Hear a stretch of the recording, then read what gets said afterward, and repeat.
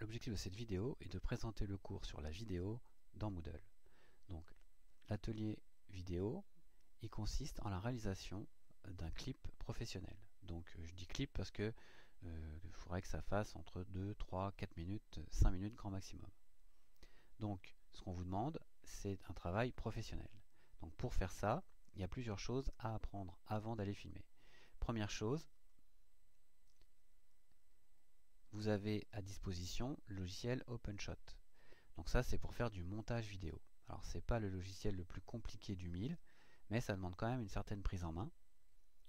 Donc ici vous avez une première fiche qui vous montre l'interface du logiciel et un petit memento avec les commandes principales et une vidéo pour voir un peu comment ça marche. Donc là, avant de lancer la vidéo, je vous conseille de lancer également le logiciel pour voir en parallèle en faisant des allers-retours entre la vidéo et le logiciel, comment ça marche? Ensuite, il y a le montage. Donc là, vous avez une petite fiche et également un petit tuto pour vous expliquer comment on peut monter dans OpenShot. Donc ça, c'est assez simple. On découpe des morceaux, on les aligne. A priori, pas très compliqué. Ensuite, vous avez un petit tuto sur le titrage et l'encodage. Donc là, c'est comment on peut rajouter des titres et comment on peut encoder sa vidéo. Alors nous, on, cherchera à utiliser le format YouTube puisque vos vidéos iront sur la chaîne YouTube de l'établissement. Et puis j'ai rajouté à la fin, même si on n'utilise presque plus, un petit onglet sur euh, le logiciel Movie Maker. Donc si vous voulez utiliser Movie Maker, vous pouvez, hein, mais je préfère vous prévenir, il fonctionne quand même nettement moins bien qu'OpenShot. Il permet de faire nettement moins de choses. Une fois qu'on a fait cette première leçon, si je reviens dans mon cours, j'ai une deuxième leçon sur le langage. Donc le langage en, en, image, ça passe par les raccords, ça passe par le cadrage, ça passe par l'exposition, ce genre de choses. Donc là, vous avez une leçon qui va vous permettre d'apprendre pourquoi est-ce qu'il faut faire des images stables, qu'est-ce que c'est que le cadrage et les valeurs, donc euh, par exemple euh, le champ, le contre-champ, le hors-champ, euh, le plan d'ensemble, les plans moyens, les plans américains, les angles, plongée, normal, contre-plongée, ce genre de choses. Donc ça, ben, si vous faites une plongée ou une contre-plongée, ça ne donnera pas du tout le même résultat à l'écran. Ensuite, il y a les mouvements de caméra. Donc il n'y en a pas beaucoup, hein, des travelling, des panoramiques et puis des mouvements libres. Euh, pour être honnête, on va surtout nous utiliser des plans fixes, des travelling et des panoramiques. Les, plans libres, souvent ça donne un petit peu le mal de mer, donc il euh, faut faire attention à pas trop en abuser. Donc là vous avez un petit document PDF. Ensuite, une fois que vous avez fait cette leçon, vous pouvez passer à la troisième leçon. Donc dans la leçon numéro 3, eh bien, vous allez apprendre ce que c'est que le découpage, c'est-à-dire vous avez des séquences, ces séquences sont remplies de scènes, et si je mets toutes les séquences bout à bout, je fais mon film.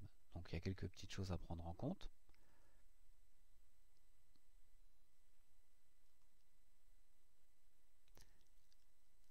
Donc là, vous avez quelques vidéos intéressantes que vous pouvez aller regarder, un petit PDF sur le découpage temporel,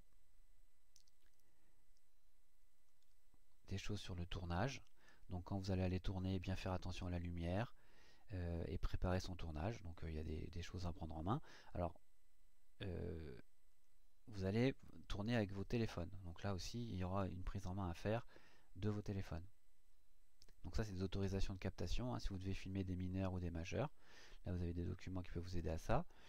Et puis, vous avez un petit travail pratique. Donc ça, c'est très intéressant. Vous avez sur le groupe 5 euh, rushs, 5 morceaux de film. Et puis, à l'aide de ces 5 morceaux, vous devez reproduire un film. Donc là, vous devez voir quels morceaux vous gardez, comment vous les enchaînez, vous soignez les raccords. C'est ça que le travail qui est demandé. Une fois que vous avez fait ça, vous pouvez faire le petit test de connaissance. Alors il est sur 10. Et il faut faire ça sérieusement puisque cette note compte dans votre moyenne de semestre. Une fois que vous avez fait les trois leçons et le petit euh, test, vous avez un autre travail qui vous attend, c'est qu'il va falloir que vous trouviez euh, un thème à votre, euh, film. Alors si vous décidez de faire un reportage, vous avez ici quelques conseils au format PDF hein, sur qu'est-ce que je dois prendre en compte si je veux faire un reportage. Alors ça peut être qu'est-ce que c'est qu'un plan d'insert, ce genre de choses. Et puis, euh, vous avez dans les consignes la grille de correction. Donc ça c'est important, c'est avec ça que je vais vous mettre une note à la fin, donc ça vaut le coup d'aller regarder ce qu'il y a dedans.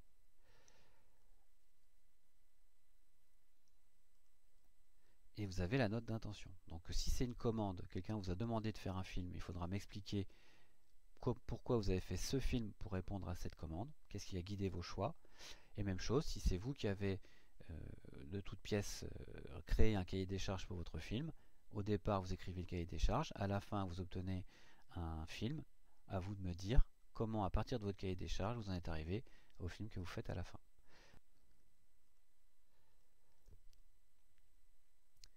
Vous devez aussi vous auto-évaluer, hein, donc comment vous évaluez votre travail de très mauvais à très bon, à vous de voir.